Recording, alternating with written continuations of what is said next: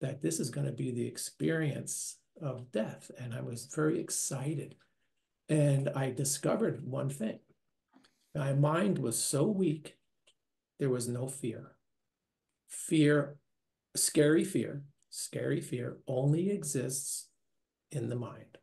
It does not exist where our consciousness is. And consciousness is just a word I use it, but I really prefer to use being. And our being is in the center of our chest, in our heart area. That's where our being is or our consciousness is.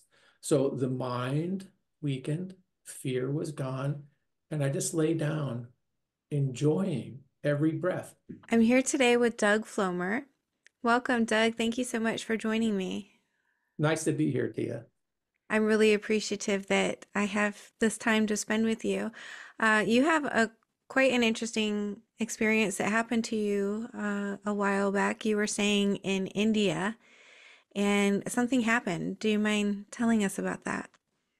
Okay, in, in 1979, I was on a spiritual journey to find out what life was about. And I ended up in India.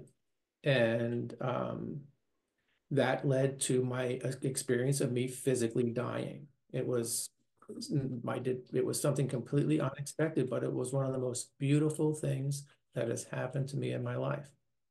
Would you like me to explain that process? I would love to hear about it. Yes, please. Okay, so I had amoebiasis, which is amoebic dysentery. I had dengue fever, which is they some people call it bone break disease because it's really painful. And then I had food-borne hepatitis A because of the hygienic nature of the India in 1979. I was 24 years old and I became very ill. And it was interesting because I weakened very slowly. I thought I, because I was so young and healthy, that I would pass by. This would just go by and it wouldn't be anything. But slowly, slowly, I became so weak that my mind, the strength of my mind started diminishing and it wasn't so domineering. And I became aware of something inside of me that was much more present and much more powerful than anything I've ever encountered before. So as I my body weakened and my mind became less dominant, I noticed that my breathing was like unbelievably expansive. I would take a breath in and I could feel well beyond my body. So then I went back to the hotel room. I shared a flat with uh, a nurse, and she was out doing something, and I was uh, laying there. And I just laid there, and I knew I was going to die.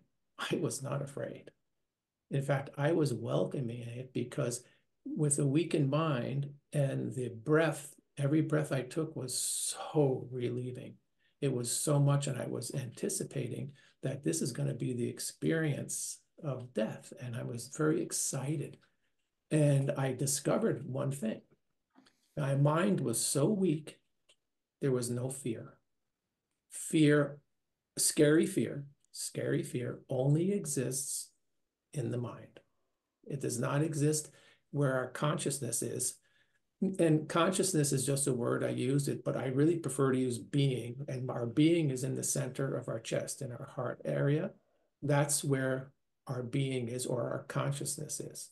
So the mind weakened, fear was gone, and I just lay down enjoying every breath. Keep this in mind. I was dehydrated from the amoebic dysentery.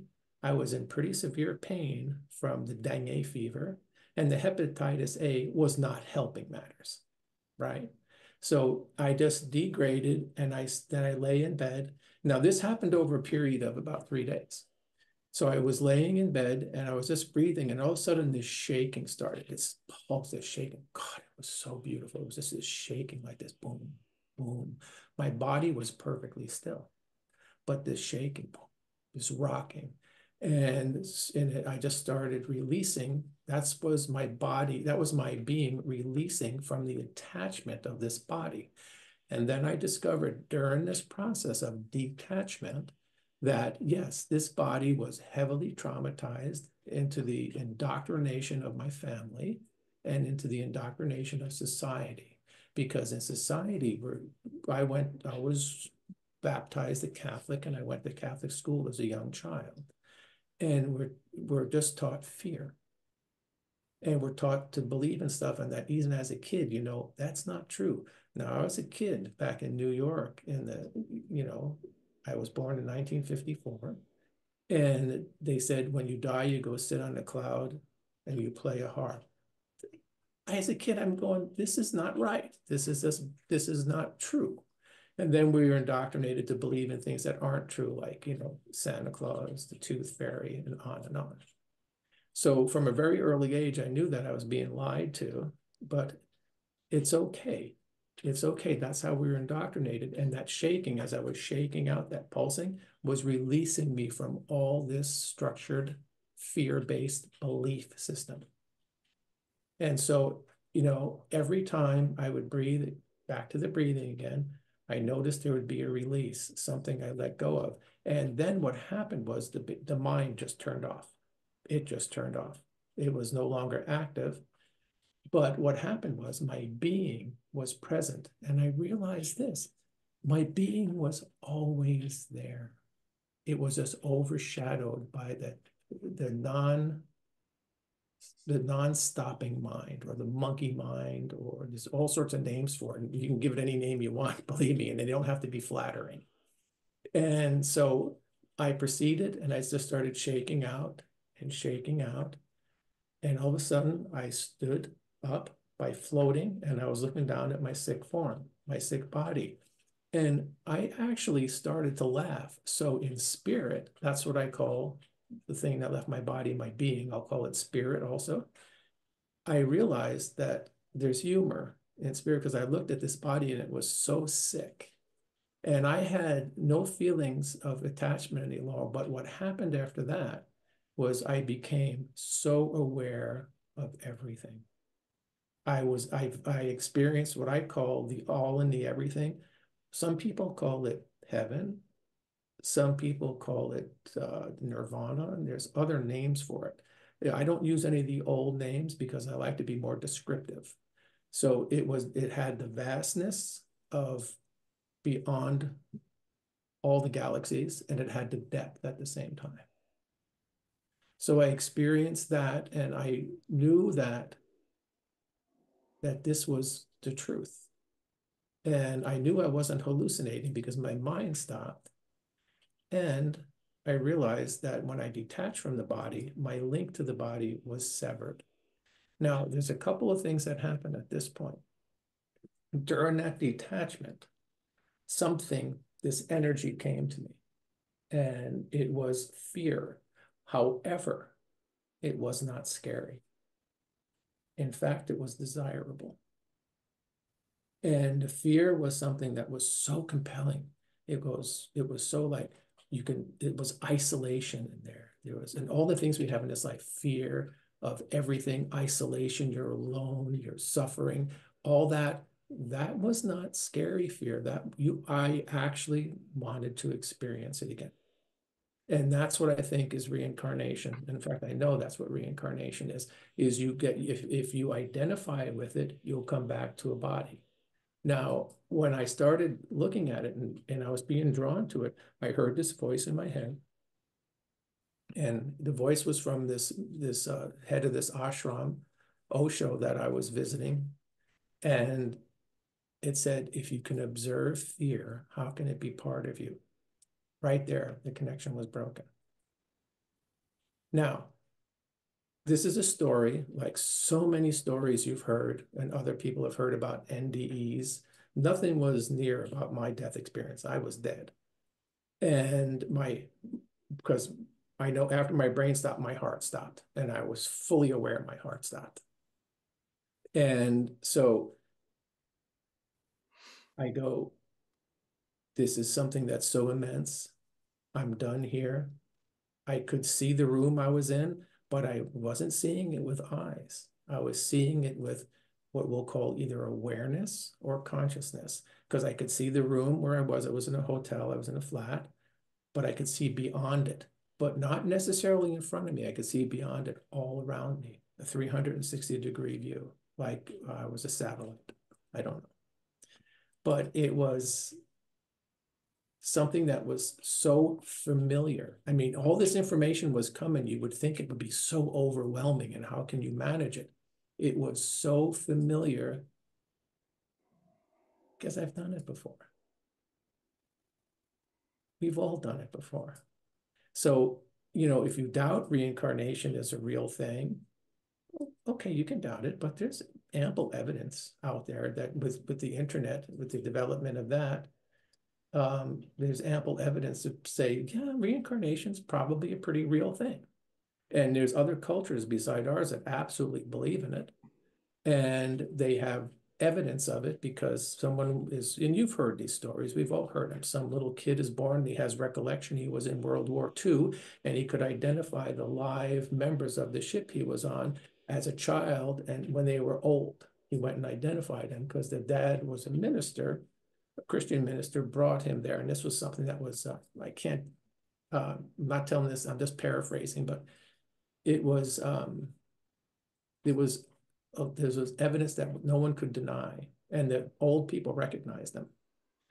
And so reincarnation is enough evidence, you can search it out. So but here's the thing that I don't want anyone to believe my story or disbelieve it, because if you believe a story or you disbelieve it, you satisfy the mind and you will not inquire as to what is the source of the story. Is can I experience this?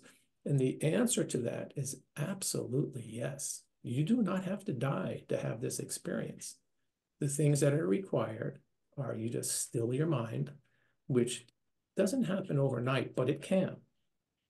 And it's a matter of you just still the mind. And there's so many techniques on this. This has been taught throughout thousands of years how to still the mind. And Buddha taught it, and other teachers taught it. There's some teachers that are alive now and if you want to find out, um, you know, if a teacher that you're interested in, listen to like, you know, there's Eckhart Tolle, who's a Westerner, and there's um, Mooji, who teaches the Eastern approach. I've met both of these people in spirit, so I know they're the real deal. But there's other people who are parading that they're teachers, and they're not. They're not. I mean, I'm sorry. They're just not and but there are some really good ones out there. So you can see search how to still the mind.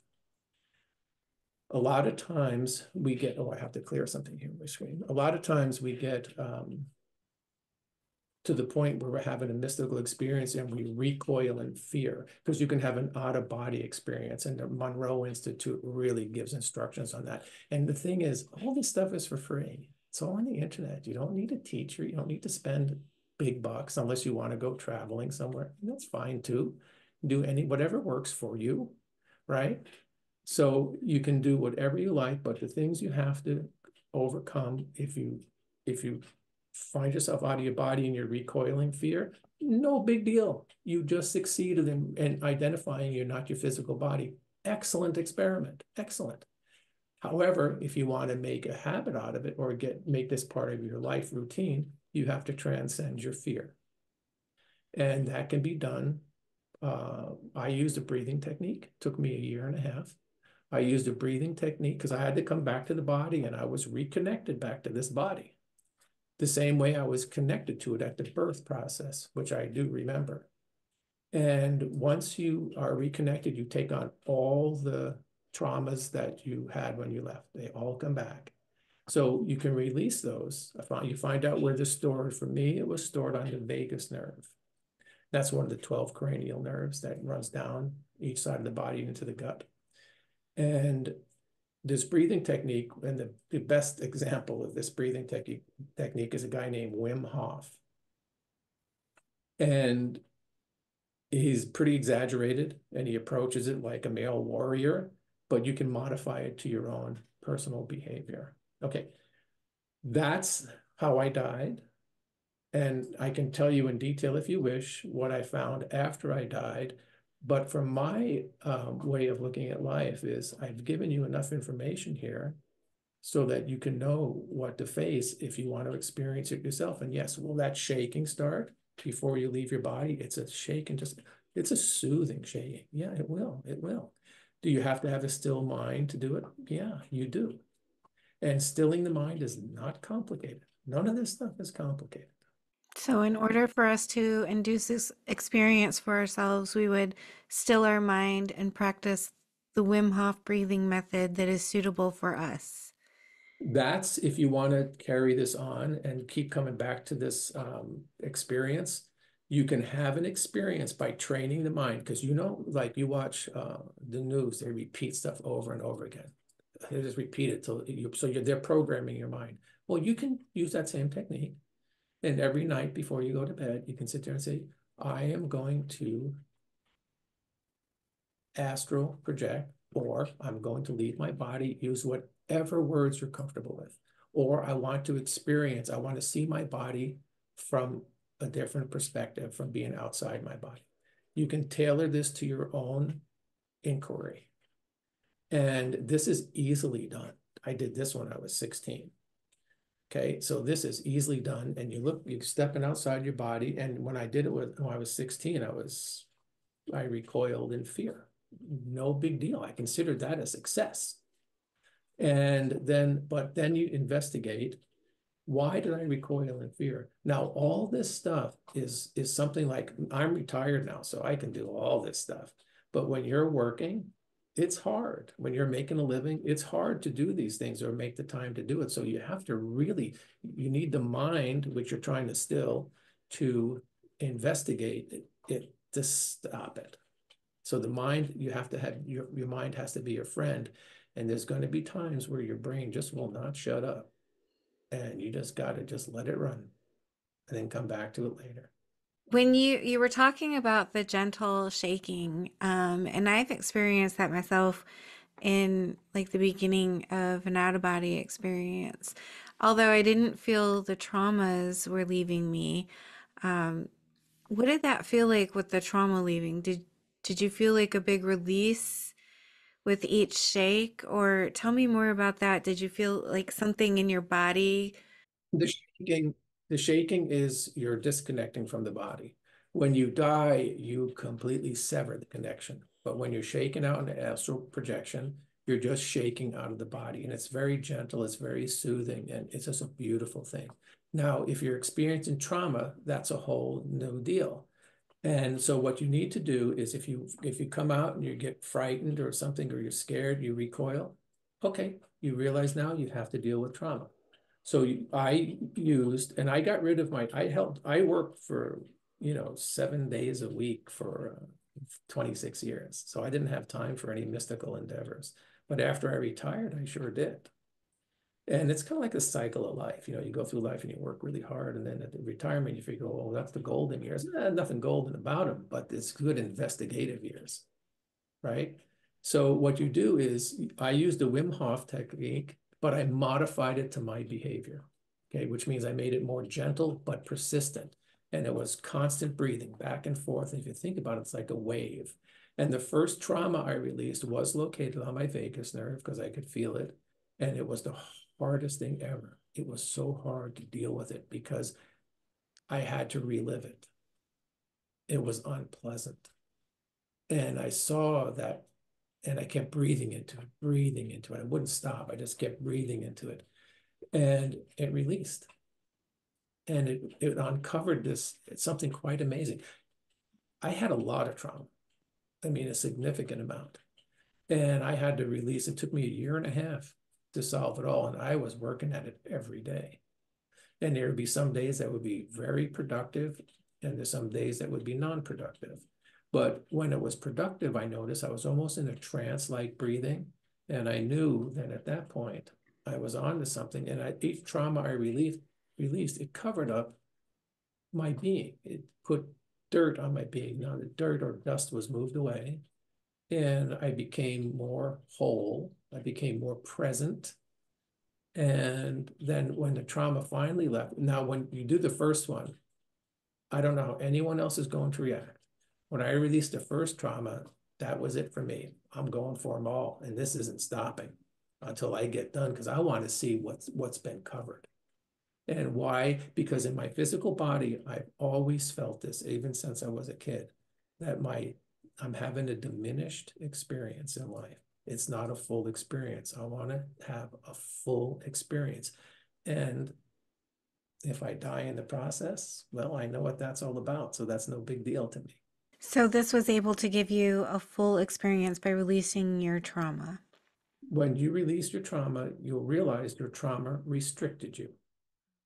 Your trauma molded your ego or your mind, and it it covered up something. It covered up what did it cover up? It covered up your presence. It's covered up your being. So you can't you can't have full expression. Now I'm sure there's this one woman I I used to watch. She was the animal communicator. Her name was Anna Breytenbach, and she was a meditator. She went to India also, and she learned to communicate with animals. She had to transcend her behavior to do that. See, we don't know our full potential. Our full potential isn't to come into this physical body and go out and get involved in the real estate market and making a living. That's not what we came here to do. We came here to have this full experience, but our experience is diminished. What diminishes it? Well, basically fear and desire. So, how did your life change as a result of releasing this trauma? Oh, everything changed. It's like I had a, a whole new chapter now, and I became an investigator. People talk about um, remote viewing. Boom, that's easy to do. We can do that. All of us can do it. What restricts you from doing it? Fear and desire, trauma. That opened up. My meditations became much deeper. I, have done so many experiments. I have the um, I I was I, I worked in real estate and sometimes I would go into a house and I could feel someone in there. And one particular example, I called the listing agent and I said, listen, did the husband die? And she goes, How do you know that? And I said, Well, because he's still here. So you can you have this extra sensory perception that is covered by fear and diminished. That opens up. You can feel when something bad is going to happen or something good is going to happen. You feel it before it happens. And that's our real being. That's what our real being does. It's not restricted. The only thing that restricts us is our mind, which has been indoctrinated into our social structure and our family structure. That's what limits it. I found it interesting that uh, you said you were excited about death when you were going through this three days of dying. Um, you you came across a tremendous fear that you welcomed, Exactly. and that that is that's just so fascinating for me. Can you go in a little bit deeper into that and talk about like what it can feel like to welcome fear and what was that doing to benefit the process of dying for you? Okay, so say you're in the process of dying and and and and your fear is really strong because your mind is really powerful. Well, my mind was really diminished because it didn't have a lot of energy to run, so it was weakened. So there is this fear that I'm dying. So I didn't really face much of that because it was so easy to transcend. I just looked at the fear and realized, oh, it's my mind. You see, because I was feel I was coming from a position of presence because I was diminished physically in strength. And so that was so simple to overcome. Now, when, say, for example, you're fully healthy, you're vibrant, and you're astral, you want to astral project or astral travel, okay? Your mind is really alive and your mind's going, whoa, whoa, we're not going to do that because that will challenge your ego and diminish your mind, and your mind knows that. And so it's a different challenge than what I had. But when I when I felt the fear, I said, okay, see, I want to go, I want to see what everything is now. I was bold and brave, and I wanted to see what everything is. In fact, that's probably my personality flaw. I want to see what everything is. And I if I if there's something that someone says you can do this, I want to see if that's possible. And sometimes people say things and they're just repeating what someone else said. They're not saying it from a position of experience. When you say it from a position of experience, you should be able to tell the folks the way and how they can experience, which is my objective. And I don't, I'm not going to write a book. I have no motivation here. I don't do anything for money, nothing. I keep money out of this completely so that people can say, well, you're just trying to make money. No, I'm not. I'm not interested in it. Your genuine interest is to help others experience their eternal spiritual self as well. Is that correct? Well, ask yourself this question. Don't you want to experience it? Absolutely. There's your answer. Do you know the way? Who's going to show you? So you're searching. You started this channel because you're searching. And okay, that's the only reason I did the interview because I was done doing interviews because I had a feeling that you were searching. And I said, okay, let's see where she wants to go. And so that's what I do. And I've helped a lot of people die. I've talked to people in hospice. My sister went through 14 months of chemotherapy before she died. And I can tell you without a doubt, because my nephew was there, she died with a smile on her face and no fear. One of my good friends, the first person I told the story to, he was a doctor. He died in the yard. His wife called us up and said he had a smile on his face when he died. No fear. And that was because you spent some time with them, Yeah. helping them to cross over or or to lose their fear of crossing over. I told them what to expect. And everything everything I told you, I'm telling you what to expect. And as you're passing, even if you decide just to astral project, you will sit there and you say, "Oh, that's what he said," and it, you'll it it's no different. It's all the same way. We all leave the body the same way. Some of us do it slower, some of us do it rapidly, but it's all the same way. You disconnect from the body. So each time something happens, like the shaking, you're strengthened now because you knew it was coming. It's not a surprise because the reason is your mind is still attached. When the mind dies, then there is no fear, and then everything will be natural. But the mind is going to be alive. In fact, the mind can be alive for minutes after your heart stops. When Steve Jobs died, what was what did he go? He goes, oh wow, oh wow, oh wow. When Dhani and Olivia Harrison watched George Harrison died, they saw something leave his body. There's tons of stories out there like this.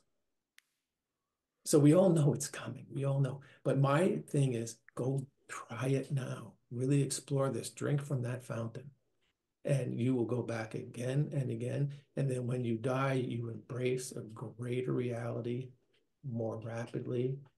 And it's fuller. The experience I had, I cannot even explain to you. I I I can't I don't even know how. But it was so much, so much. But it's not overwhelming. Tell me how you came to know the Wim Hof breathing method and that that would get you to that place. Oh, I didn't know. I didn't know. I just tried it. I, I said, okay, I have trauma. How do I get rid of this trauma? Well, there's something called rebirthing. And I wasn't really, I watched a video on that. That wasn't for me. Right. Then I watched a video on Wim Hof and I go, yeah, that's for me. I just, you know, you want, you just try things. You, it's like, how do you know if food's any good unless you try it? How do you know if this going up the side of a mountain is going to be any good unless you try it? You have to always try everything. Now, if you're unable to try it because you don't have the ability to move or stuff, oh, that's even better because now you can go internally straight away. And there's nothing to stop you because I want to see what's in there. Because that's, remember, that's the objective is, or the ultimate experience is you are going to come, you're going to take the body and you're going to remove all that dust of life and society. And then you're going to realize this which is located here, this power center is another way of looking at it, but it's consciousness or its presence or its being. It's located right here and it's diminished only because of what's here. But you still, these are all energy centers we have in our bodies. We have all these energy centers and you have to deal with that. You have to have a little knowledge. You can gain that on YouTube. Videos like this. And you have to explore. I mean, Magellan sailed the seven seas. Columbus sailed the seven seas. You just got to find the explorer in you. Can you give me an example or show me how you breathe using the Wim Hof method? And then maybe talk about how people can find out the best way for them to do it. Well, there's tummo breathing, and that's typically your your breathing that is associated with Tibet and Buddhists. And there's yogic breathing, and there's yoga centers everywhere. And you want to breathe, and there's just you could just even Google um, how can I breathe through or use AI? How can I breathe? What are the what is the breathing techniques to release uh, tension and trauma? Okay. So how I breathe is very simple. Say some people say you breathe through your nose, exhale through your mouth. Oh, that's like way too complicated for me, right? I'm not doing that, right? I just do nasal in breath, out breath, and it's basically I start out. Now I'm breathing down into my below my belly button, and I'm creating a wave like the wave at the sea, and it gets a rhythm. At first, it's awkward, just like everything. Learn how to dance. It's, it's awkward as it can be at first, right? So you breathe and you get a rhythm, and then you practice it and you go, oh, this is really boring. Well, one day, Samantha, that's my wife, is in here and, she looked at the watch, she looked at the time, and I was in breathing for three hours. I didn't even realize I was in there for three hours. And I'm just doing, and then that breathing sometimes will change where you go, and you go back to it, and you go back to it. And what it's doing is it's kind of loosening up the tension in your body. It's relaxing your body so that you can relax the traumatized nerve. Because a traumatized nerve is not a relaxed nerve. If you see someone that's hypervigilant, they typically have PTSD, they're traumatized. 80, it's estimated that 80% of the American population has, uh, has PTSD, traumatic, traumatic stress disorder. We live in a stressful world right now. Well, you have to make a living. This is Yeah. the thing to do. And it, it's the world is right now, it is in the process of changing. So it's going to become, it is stressful. And it's going to become more stressful. And we're going through some crazy stuff right now, but you know, it's changing. And is it easy? Change is never easy. But to do the breathing technique, you can relax your body, even if you don't have an astral projection or start remote viewing even if you just relax your body, isn't that a bonus? And the breathing will do that. It will do that just on its own. So you get a bonus right away. I love that. I'm going to start doing this today. I'm going to try it. Oh, never stop. Never and stop. you have a way of contacting me. If you run into a snag, just contact me and I'll tell you what the snag is. And do you just lay flat on your bed or Oh no, here's the beautiful part. Oh, this is the beautiful part. You're like a yogi, they're sitting like this in the yoga position, oh, all that stuff like that. They don't have to do any of that. I have a massage chair. Sometimes I do it there. Sometimes I do it in the bed, laying on my back on my side. Sometimes I do it on the couch with my feet up on top of the couch. You don't have to be in any position at all. You can, all you have to do is the breathing. And then once you train your body to breathe, you're going to notice another fact that you're breathing properly in all your daily activities and you're not breathing shallow. You are oxygenating your body. So even though it feels like shallow breathing, it's deeply oxygenating your body. This is not shallow breathing. You are inflating, you're not inflating your lungs. They fill up, however, you are inflating your gut. And your gut's moving, right? Or your belly, whatever you want to call it. And it's moving and it's pre it makes like this wave, like you go down to the Puget Sound or wherever your ocean you're, you're close to. And and you feel those waves and like you can be in a bad mood and you go to the ocean side and within 20 minutes you're in a pretty good mood. It's the same thing. It's nature. It's natural.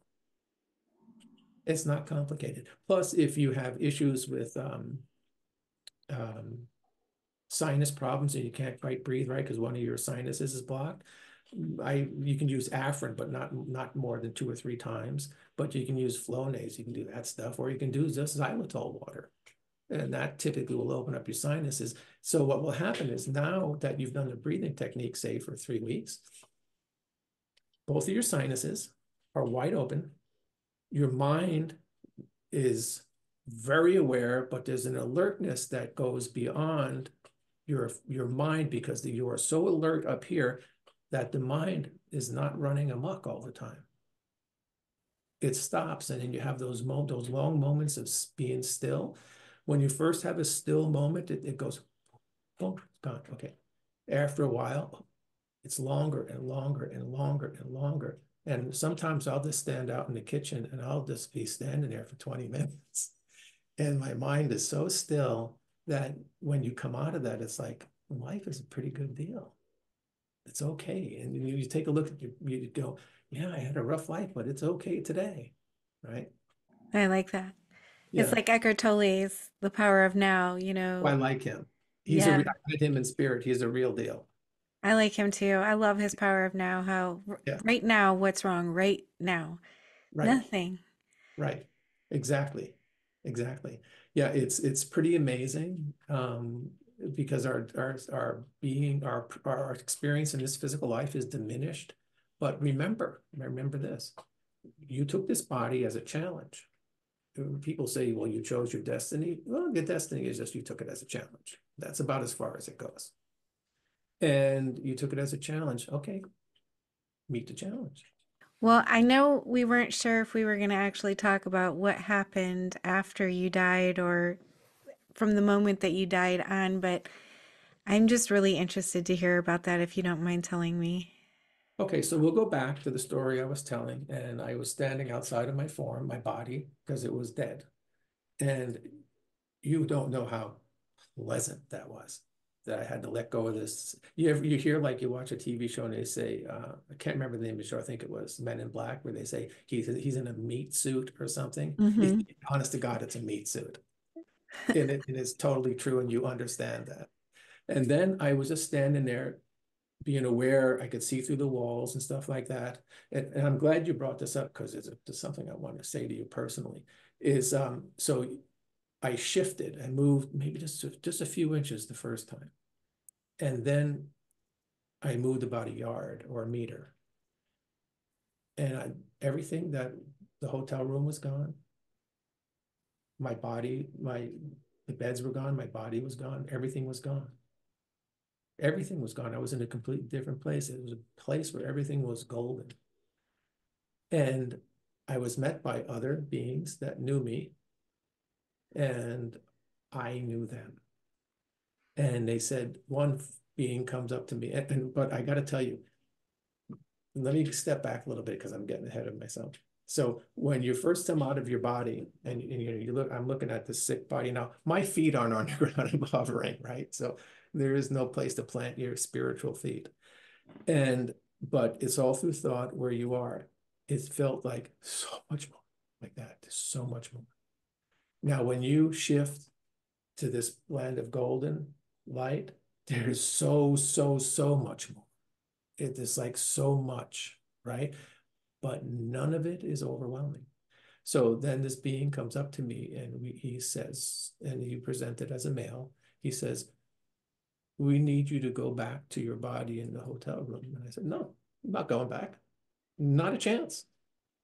And then, then there were some moments there. Now, remember, when you're dead, there's no time. There's, it just doesn't, there's no time. But now let me walk you back just one other time. After I got on my body and did that first shift completely away from my body, I saw all these lives I had lived prior. And now, now prior is an incorrect word and I could see them in like little bubble formats. And I would look at one and I would look at it like, oh, I just lived that life from birth to death. All your lives you have, including this one, are happening simultaneously. There is no linear time. None of that stuff is real. I could have been out of my, and I, in this life, I have experienced uh, time dilation. I fell which normally takes less than a second, but I was able to completely turn over and land on all four my four my feet and my hands. I was able to land on all fours like a cat. And that's not possible because I fell on the ice. And that's not possible. No one can do that. I've done that several times. Okay, so now that's a side. I took you off a little side trail. Okay, so let's get back to this song. They told me I, I, they wanted me to go back to my body. And I declined. So then I meet this guy. They say that I meet this guy, and all of a sudden there was a cafe appeared, and all this stuff was just eh, because everything's radiant in gold, but they made a setting for me, right? And then the setting was I met this guy at a cafe, and he introduced himself. He said in one of his lives he was George Gurdjieff. Okay, now I didn't know who George Gurdjieff was until I got back, and then and there's another story with that. And then he says, We need you to go back to your body. And I said, Okay. But then I heard a thought from one of the beings that first met me said, You will lose all memory of this encounter. And I said, I'll go back on the condition I don't lose memory. All this memory stays intact. I negotiate stuff. And so they sent me back, but I didn't go back myself. I couldn't.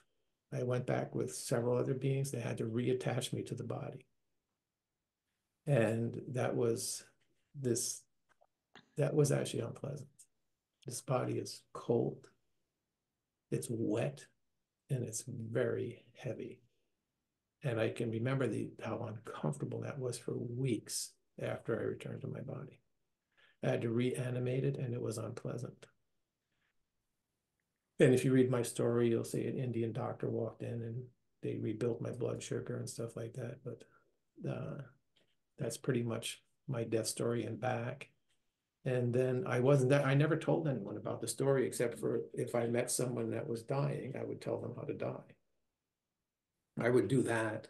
And that was really successful because this is going to sound a little bit odd, but like the first guy, I told the story to, was a doctor. He had a, he knew he was dying and he said, tell me how to die. Well, two weeks after his death, I hear someone calling my name and Samantha and I are sleeping, right? So I sit up and there's this my doctor friend standing in the doorway of our master bedroom. And he's all bathed in golden light and smiling. Okay. Pretty interesting evening. So I knew he made it. And from that, many people have come to me after they've died and let me know they that they it worked and it was natural. And I and I and I go, okay okay, I know it works because I died. I mean, I don't doubt any of this, right? There's no doubt in my being at all that this is how it plays. And I won't be here much longer. I'm going to be 70 years old this year. I don't have a lot of time left. So I'm looking forward to exiting this life. Because I know this is my last life. Oh, and when I met Gurdjieff and he sent me back, he told me a whole bunch of stuff. I don't want to get into do, too much detail with that because it was some future stuff. But he said, This is your last life. You don't ever have to come back again. Why is this your last life? Is there a lesson that you needed to learn here? Is there a mission that you had to complete? That's a fabulous question. That is a beautiful question. Everyone sits there and goes, I'm, they, they sometimes refer to this life as a school. None of that's true. It's just an experience so you can experience what is the opposite of who you truly are. So when you are like in full being, you don't have to feed your body. You don't have to clothe your body. You don't have to have a house to live in. You don't have to suffer. So here we experience all this suffering and stuff. It's just an experience. Let's call it um, spiritual AI.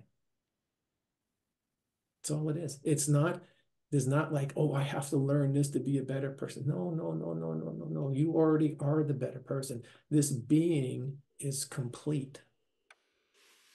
It's all complete. That's what I like to say is that it's like a ride, like you would go on a roller coaster because it's exciting and you get the adrenaline rush. Um, but it's it's not because you have to learn, you know, how to sit in a roller coaster. You know, you do it for the experience, for the fun. Um, and that's kind of how I I think of it. No, I've actually used that same analogy. It's like you want to go on that roller coaster one more time. And so, but okay. And the, so here's the thing.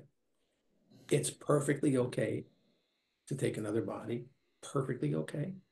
It's perfectly okay to have whatever experience you want. And also, remember when I told you I was looking at all the lives I had lived? You don't necessarily, it's not linear. You're not going to go to a future event. You can go to a past event if you want. And when I looked at that one life, it looked like they were like little eggs, like an eggshell. When I looked at life, I lived that life from beginning to end like that. And when I looked at this life, it went that fast. It was just boom, that's how fast it goes from the position of being. Take me back all the way to the beginning because I feel like near death experiences are so unique to each individual. They're almost like custom experiences for who an individual is. There aren't any two that are really very closely related. There's similarities. Um, similar things happen but I feel like they're they're still very unique, um, and as was yours. Um, tell me about who you were before these experiences. You were in in India on a spiritual journey. Um, do you feel like your life before your experience colored it? Well, I grew up in a very traumatized household, as many Americans have, and Europeans and other people, right? And I had certain events happen throughout my life that made me question everything.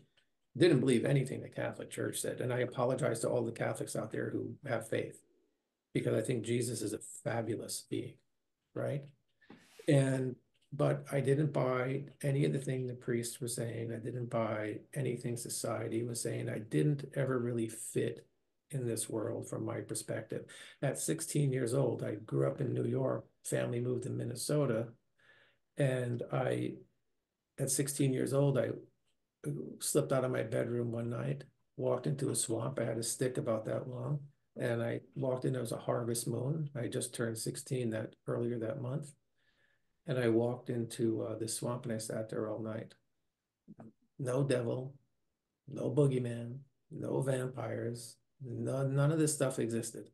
And I realized I had been seriously lied to. And I have been seriously programmed. I'm 16 right now. And I also, because of the traumatized life, I was I was I had migraines most of my life. And so I go in there with pain. I'm under pain the whole time. And but I realized that wasn't true. So then I finished high school. Then I went out and worked a little while, went to university, didn't work for me. And I go because I just needed to know what this life was. So that I picked this book up by a guy. I picked up, I met several Indian teachers, right? One was uh, Osho, who had a, he called himself Rajneesh. I met him first. I said, okay, I'll go there. Because I read his book and, and everything in that book made sense to me. So I wanted to go meet this fellow, and that's what changed my world.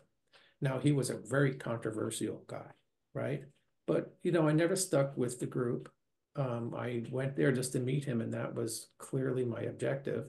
And I stayed there for several months, actually, quite a few months. And um, then I met other teachers, and, you know, best people were presented to me. I said, I have to go see this guy. Sudden, I thought of this guy, and I was compelled to go see him, right?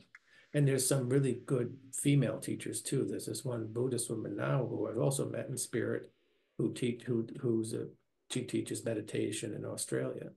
And so there's a lot of really quality teachers out there now. And I was just looking for answers. And as a, you know, as a young kid, I just knew that the world was wrong.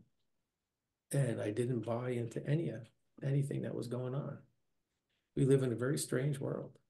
I find it interesting that you were on a journey to find yourself Mhm. when you had this experience, like the ultimate finding yourself experience. Mhm. Yeah, totally. Well, on the on the way to India, the first time I went a few times, um, the airplane hit wind shears. We had a layover in Tokyo. It hit wind shears, and people were screaming and crying and vomiting on the airplane. I was completely calm. Not only calm, but yeah, I was laughing because everyone was so terrified. And my point was, if we die, what's the point of being scared? What's the point? Just you just go, just accept it. Because that's what Steve Jobs did, didn't he? That's what uh, George Harrison did. They just accepted it because what's your option?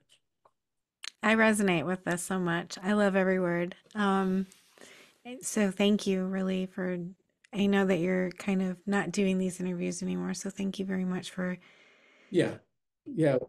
I wasn't going to do it, but then I had that. All right, let's see. Like I knew you're looking for something. I hope that I was able to encourage you to just keep looking until you find what you're looking for. I feel like this conversation is very divinely guided. And a lot of my conversations are with my guests. Um, but I don't feel like any of these conversations happen by accident. And whatever, I think there's a message that's meant to get out through through through my channel for whatever reason. My channel was a calling. I had a calling to do it. So I feel like it's a very important work. Um, and so that's why it means so much just not to me just personally, but to talk to my viewers about this as well because to give them like the step by step instructions on how to have an awesome experience on their own. Oh my gosh, that's, do you know, that's priceless. Well, and here's the beautiful part about it. You should never have to have to pay for it, ever. Yeah. This is something that, you know, that's the why I actually refuse to take money. I absolutely said, not a chance, because then it brings in motive for me, right? And I've spoken to cardiologists, I've spoken to uh, people in hospice, I've spoken to dear friends that I just wanted them to know you're in for a really wonderful experience. And it is just exceptional. I can't, if I could like do the Vulcan mind meld, yes, I like science fiction, right? If I could do that with you, you would sit there and you'd go, I'm ready now. And you would, because it was that beautiful. It is without compare until it comes to the point where you realize you've done it before. But in that, in that transitionary process of leaving the body and stuff, there is nothing like it. It is like with, it is just without exception. And I know I keep repeating myself with that, but it is. It's the most wonderful thing ever. And there's people, the one other thing I will tell you is as you pursue this, you'd be very quiet about it. You don't tell this to anybody because it will, people, I wrote my story and some people around me got really jealous. And I wrote my story because Osho showed up in my hallway. I was meditating and this was in 2015. He shows up in my hallway and I look at him and I'm going and and and I I just go I'm going to have to do something and I didn't know what it was. Turns out I wrote the story, I published it in Osho News. Two other people were having seminars on uh, death and dying because every all the old people people are getting older and they're dying. So the story was put in there and I had I got a lot of traction on it. A lot of people got very jealous from my story, which is fine. They can. My skin is pretty thick, right? And you can you can say anything you want about me. I don't care because I know that's not shakable. Do you think negative energy can also influence your results? Others' negative energy? They will try to. Yeah. But once you're established in being, and once you realize your mind, if you stop it, you can sit there and have all of a sudden this thought can come in. It could be, oh yeah, yeah, yeah, yeah, pounding on you, right? But then you go, wait a minute, I can stop it. You still your mind. And you realize that energy came from an external source. And I was a real estate appraiser for 30 years, 26 years with a big lender. And I met, I would walk into a house and there'd be something in that house, right? And I met a lot of people who were into witchcraft and black magic, right? You start to recognize, I did over 20,000 appraisals. So you start to recognize this. And they're dark, but okay, you're dark, not my problem. Not my problem. Just don't let them in your house. And don't tell anyone what you're doing until you get to the point where it's so solid in you that you cannot be shaken. You will live a better life if you um, transcend your trauma, if you can move outside of your body at choice, and even if it if you just do it once in a while, because you need like I found a friend that really helped me, man. She was just like the most wonderful being. She passed in in December 2022, but I found her in in uh, in Thailand. And she goes, "Oh, you found me," because she came here and I and I tracked her down and found her, and so she helped me a lot with the breathing. She was the one who really inspired that in me. And uh, but I met her only in spirit, not in physical form. Do you have any last words of wisdom for my viewers? Yeah, just enjoy enjoy your life, and really once you understand this is a journey make it a fabulous journey. Don't be restricted by fear. Don't be restricted by trauma. Don't adopt social norms as the truth. Look everywhere. Try everything you possibly can try, with the exception of drugs. I don't go for drugs. Okay, especially alcohol is the worst drug you can ever do. And but just try it with a meditative approach. And this is a wonderful journey, but as I can tell you right now, since I'm old, It goes that fast. Just the other day, I was twenty-five. I swear it to you. That was decades ago. Doug, this has been absolutely amazing. Thank you so much for joining me and for sharing your experience and the wisdom that you've gained throughout the years and the step-by-step instructions on how to have our own experience. So that just means so much to me. Great, and I'm glad that that it meant something to you. I also enjoyed this, and you're so young going on this journey. You remind me of me. Thank you for being here. I just want to tell you how much I appreciate you being here and supporting my channel. If you haven't already subscribed, please consider subscribing if you enjoy near death experiences and other spiritually transformative stories. It helps the algorithm know that this information is useful and push it out to more people. And that's the goal to get as many people to know that we are eternal spiritual beings and that we never die. Our bodies might die, but our essence will never die. And I want people to live with less fear. Let's all spread the word, like, comment, subscribe, share, hit that little notification bell so you get all the notifications when my videos post. Thank you for all of your support. I'm sending love to you.